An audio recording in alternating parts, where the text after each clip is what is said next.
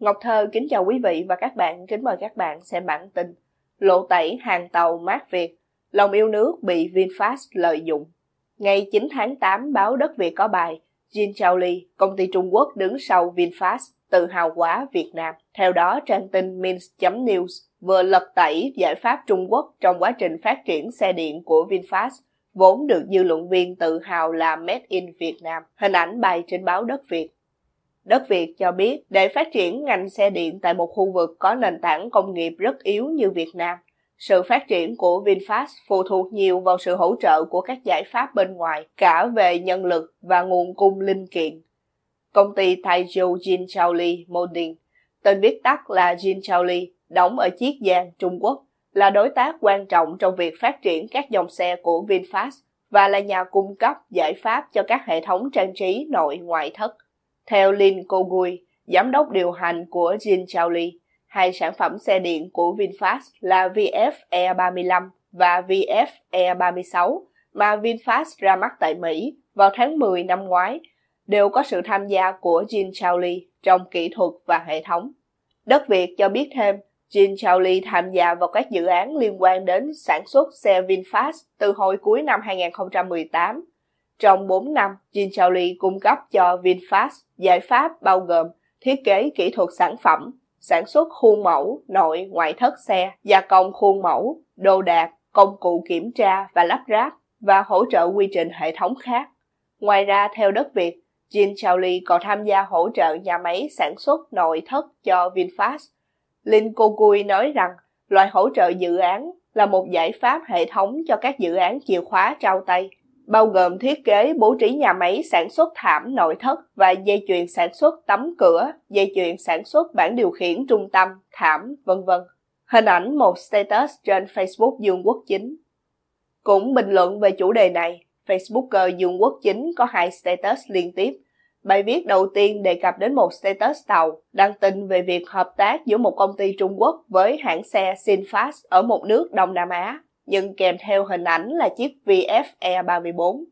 Facebooker cho hay, theo tin này thì chiếc VF E34 do công ty Trung Quốc thiết kế và sản xuất ở Trung Quốc và đem về chỉ lắp ráp ở một nước Đông Nam Á. Trong khi đó, theo Facebooker, báo chí Việt Nam và web của VinFast đăng tin chiếc xe cùng tên và giống hệt là VF E34 của VinFast thì do một công ty của Ý thiết kế và Việt Nam sản xuất khác lắp ráp CKD.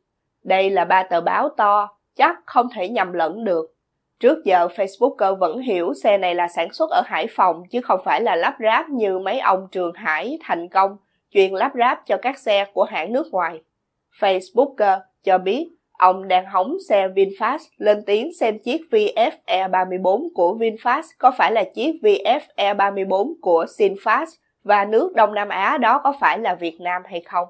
Facebooker nhận xét Group Facebook tàu này chắc là chuyên cho người Việt Nam đọc, chứ tàu thì cấm Facebook mà. Facebooker mỉa mai, bạn viết tút lập lờ kiểu này làm ảnh hưởng đến uy tín hãng xe của Singapore quá. Hình ảnh status của group Facebook tàu đề cập xe VF E34 của hãng Sinfast. Ở bài viết thứ hai, Facebooker Dương Quốc Chính cho rằng đã có bao nhiêu vụ hôn trương ba gia hàng thịt rồi. Hồi xưa, Bphone chém gió điện thoại Việt rồi chả thấy nhà máy đâu. Sau tới Khải Siêu, quên cắt tem tàu. Rồi Asanzo cũng nhào trộn lẫn lộn tàu ta, tới Vinsmart cũng đi con đường gần như Asanzo, sản xuất đồ điện tử, điện thoại, rồi lẳng lặng biến mất sau vụ bóc phốt điện thoại Vsmart giống hệt chiếc điện thoại tàu như anh em sinh đôi. Gần đây có kit test Việt Á cũng nghiên cứu khoa học như thật, quên ăn quên ngủ, có cả huân chương của chủ tịch nước hóa ra là lấy hàng tàu về dán tem. Anh em vào lò cả. Giờ tới VF E34, VF5, có thể là VF3 nữa. Cần được minh bạch, thực sự người Việt Nam có đóng góp gì trong đó. Facebooker kết luận chung quy cũng vì tâm lý cực đoan, ghét tàu và tinh thần dân tộc bị lợi dụng. Anh em kỳ thị xe tàu nhưng lại hoan hỷ mua xe tàu thổi hồn Việt với giá cao. Có thể nói vụ này VinFast bị đối tác lật xuồng, chỉ khổ cho những người yêu Vin, đắng lòng quá. Quý vị và các bạn vừa theo dõi chương trình cập nhật tin tức của Ngọc Thơ thời báo chấm D với bản tin lộ tẩy hàng tàu mát Việt, lòng yêu nước bị VinFast lợi dụng. Dưới chế độ độc tài, e rằng số phận Nguyễn Văn Chưởng đã an bài trong tuyệt vọng. Ngày 8 tháng 8, báo Người Việt có bài Suy nghĩ từ án tử hình của Nguyễn Văn Chưởng của tác giả Hiếu Trân. Tác giả điểm qua các mốc của vụ án. Theo đó, Nguyễn Văn Chưởng sinh năm 1983, quê quán huyện Kim Thành, tỉnh Hải Dương, bị buộc tội giết chết ông Nguyễn Văn Sinh, thiếu tá cảnh sát hình sự thành phố Hải Phòng vào tháng 7 năm 2007. Anh Trưởng bị tuyên án tử hình trong các phiên tòa sơ thẩm tháng 6 năm 2008, phúc thẩm tháng 11 năm 2008 và giám đốc thẩm tháng 12 năm 2011. Hình ảnh bài trên báo Người Việt. Nhưng bản án chưa thi hành được vì có nhiều khuất tất oan sai. Sau đó bản án bị Viện Kiểm sát Nhân dân tối cao kháng nghị, đòi xét xử lại theo hướng giảm nhẹ hình phạt xuống tù chung thân. Phạm nhân và gia đình liên tục kêu oan và dư luận phản đối gây gắt. Cho đến ngày 4 tháng 8 vừa qua, Tòa án Nhân dân thành phố Hải Phòng bất ngờ gửi công văn cho gia đình, yêu cầu có đơn xin nhận tử thi hay nhận cho cốt của tử tù sau khi thi hành án. Cái công văn tàn nhẫn lạnh lùng đó làm cho tất cả những ai còn lương tri đều bị sốc. Và một lần nữa, vụ án oan của tử tù Nguyễn Văn Chưởng được xới lên trên mạng xã hội và thu hút sự quan tâm của các tổ chức nhân quyền quốc tế. Tác giả nhận định, vụ hành quyết tử tù Nguyễn Văn Chưởng gây rúng động dư luận ở Việt Nam. Một lần nữa cho thấy bản chất phi nhân của một nhà nước công an trị trong đó, bất kỳ công dân nào cũng có nguy cơ bị tù tội, bị tước bỏ sinh mạng một cách tùy tiện bằng những bản án bất công và phi lý của một hệ thống tư pháp què quặt. Dưới các chế độ độc tài, guồng máy tư pháp chỉ là công cụ của thế lực cầm quyền, hành xử theo nguyên tắc thà giết lầm hơn bỏ sót, lấy bạo lực để gieo rắc sự sợ hãi cho toàn xã hội. Theo tác giả, trước Nguyễn Văn Trưởng đã có những tử tù Nguyễn Thanh Chấn, Hàng Đức Long, Huỳnh Văn Nén bị kết án tử hình dựa trên lời khai nhận tội, để rồi nhiều năm sau được minh oan và trả tự do. Hiện nay cùng hoàn cảnh với Nguyễn Văn Trưởng còn có Hồ Duy Hải ở Long An, mà bản án tử hình của anh đã nhiều lần bị dư luận phản đối gây gắt.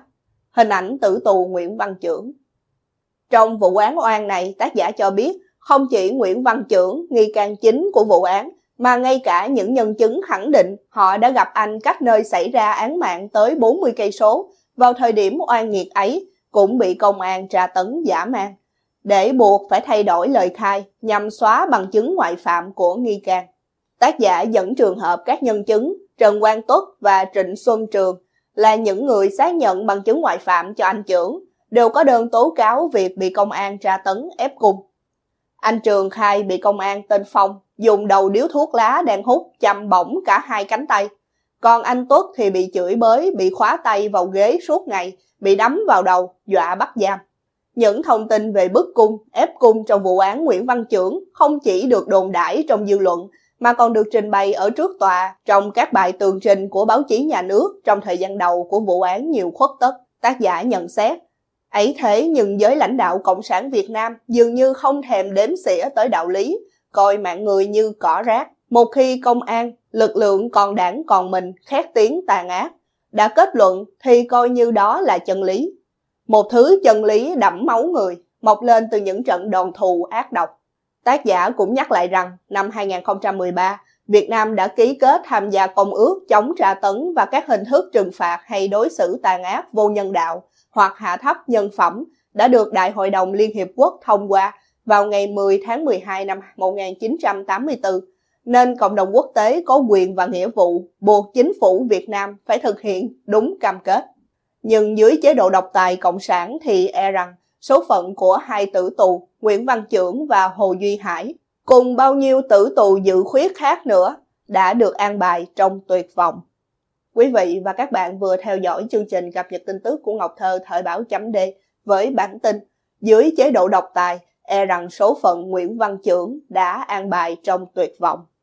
Quý vị và các bạn hãy chia sẻ video này để nhiều người cùng biết cũng như bấm nút đăng ký kênh youtube và facebook của Thời báo chấm D để được cập nhật những bản tin mới nhất, nhanh nhất và trung thực nhất. Ngọc Thơ Thời báo chấm D